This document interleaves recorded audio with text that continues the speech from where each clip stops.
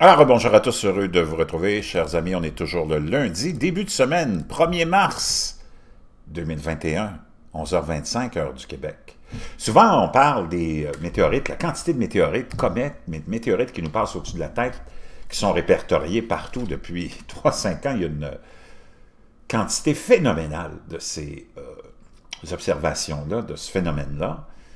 Et à l'occasion, il y en a qui tombent, hein, euh, qui donnent des euh, frissons, qui probablement des fois font euh, témoigner les gens dans le sens où ils entendent un grand boom, les, même les fondations de leur maison tremblent à l'occasion des morceaux tombent dans des champs, dans des arrière-cours, des fois sur des toits de maison. Et on en je vous en parle souvent, c'est une question de temps avant qu'on en reçoive euh, de façon répétitive sur la tête. C'est comme s'il y avait de plus en plus de ces euh, météorites-là. Et là, c'est les Britanniques qui ont goûté à la médecine de ces météorites-là. On a eu une... Les Britanniques sont stupéfaits alors que des lumières mystérieuses apparaissent dans le ciel, tombant dans différentes directions en plus. Imaginez-vous. Euh, Aidan euh, McCartan a déclaré avoir vu les lumières tôt samedi matin, donc le week-end dernier, et soupçonné qu'il s'agissait peut-être d'un avion sa vidéo a montré que les lumières descendaient vers la Terre. Je vous laisserai les articles, les liens, comme d'habitude, dans la boîte de description. Le Daily Star euh, hein, UK euh, qui nous rapporte ça. Un homme a été déconcerté quand il a capturé des lumières vives avec des queues enflammées se précipitant vers la Terre depuis le ciel. Une vidéo prise par euh, Aidan McCarthy, ou McCartan, résident de St. Helens, capture ce qui semble être des météorites tombant dans différentes directions au-dessus de lui, dans le ciel de l'aube samedi matin.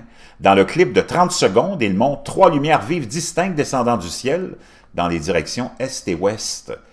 Lorsqu'il incline la caméra vers le haut, elle révèle un objet lumineux semblable à une boule de feu tombant dans le ciel et laisse une longue traînée enflammée. Aiden, 43 ans, a déclaré au Liverpool Echo qu'elle conduisait sur Liverpool Road vers 6h30 du matin avant de se rendre compte euh, des lumières. Donc, c'est vraiment, vraiment, c'est épeurant, stupéfiant. Vous allez voir euh, les images euh, et vous allez surtout voir sa vidéo. c'est complètement déroutant. Il a ajouté, au départ, je pensais que c'était un avion, mais j'en ai vu cinq ou six à différents endroits et descendre à différents endroits. C'est une des rares fois qu'on entend une description comme celle-là.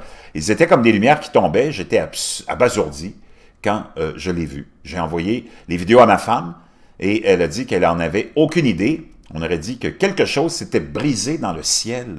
Ce n'était certainement pas un avion commercial ou militaire. J'imagine que c'était un type euh, d'affichage d'avion léger, euh, nous dit-il.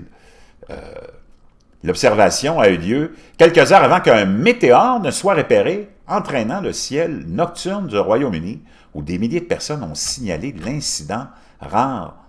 Les scientifiques de la UK Fireball Alliance, qui est euh, dirigée euh, par le personnel du Natural History Museum, ont confirmé qu'un météore lent a été aperçu dimanche peu avant 22 heures et a envoyé un boom sonore dans le sud de l'Angleterre.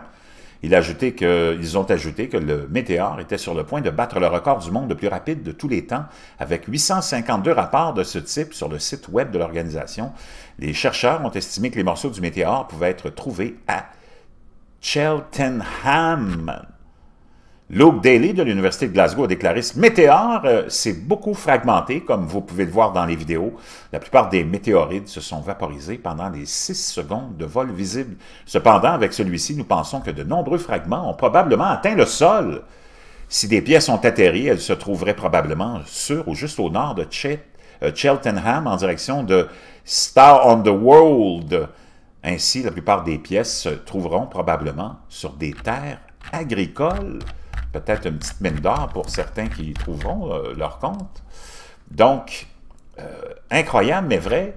Hein? Météore britannique, des boules de, de fragments de boules de feu ont probablement atterri après avoir frappé la Terre à 30 km.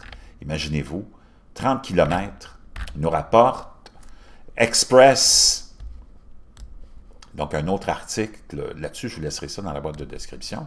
Météores britanniques, des fragments de boules de feu ont probablement atterri après avoir frappé la Terre à 30 000 km.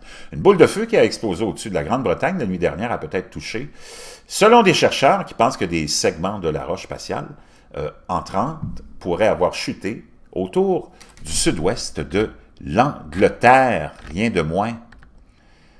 Euh, jusqu'à présent, plus de 800 personnes au Royaume-Uni ont signalé l'observation à l'Organisation internationale des météores qui, selon le groupe britannique de chasse aux météores, qui est géré par l'Université de Glasgow, est sur le point d'être le météore le plus signalé, celui qui a été le plus vu de tous les temps. Les chercheurs pensent maintenant que le météore s'est fragmenté lorsqu'il a frappé l'atmosphère terrestre et que certains des petits morceaux ont peut-être touché Terre. L'analyse a montré que des fragments susceptibles d'avoir touché sont tombés autour de euh, Gloucestershire. Donc, vraiment, a donné des frissons dans le dos.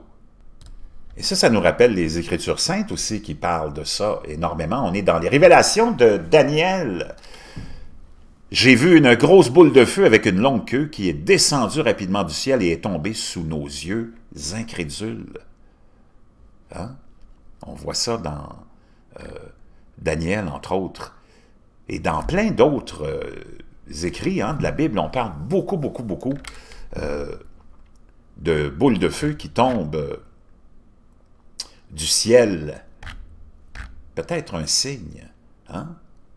Peut-être un signe qui nous annonce des grands tourments, sait-on jamais? Beaucoup, beaucoup de références à ça, à ces boules de feu qui nous viennent du ciel, même dans les Écritures anciennes. Puis on va se laisser avec d'autres euh, écrits et euh, de feu dans le ciel. La Bible nous informe que Dieu, parfois, euh, parle à son peuple à travers des rêves et des visions. Le Seigneur lui-même déclare, écoutez-moi mes paroles, s'il y a un prophète parmi vous, moi le Seigneur, je me fais connaître à lui dans une vision, je lui parle dans un rêve. Et euh, le même Dieu qui parlait à l'époque euh, biblique a parlé à nouveau comme un accomplissement direct de la prophétie en donnant des rêves et des visions à Ellen White. De manière significative, dans les années 1904 et 1906, Madame White a eu deux, euh, deux rêves particulièrement remarquables au sujet de boules de feu descendant sur des villes méchantes en tant que jugement de Dieu. Donc on parle beaucoup, beaucoup, beaucoup de boules de feu. Hein? Son premier rêve de boule de feu en 1904, elle l'a reçu alors qu'elle voyageait dans l'État du sud de l'Amérique. Le deuxième rêve s'est produit en 1906. La signification de ces deux rêves est révélée par le fait qu'elle a répété plusieurs de leurs détails à plusieurs reprises dans ses écrits publiés. Cependant, d'autres détails sont restés inédits pendant plus de 100 ans. Donc, boule de feu, boule de feu. J'ai vu une immense boule de feu installée à Nashville.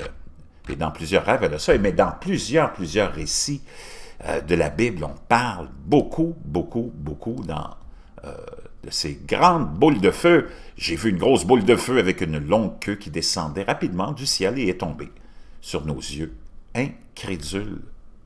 Et de plus en plus, on en a, je ne sais pas ce que ça annonce, mais probablement plus de tourments.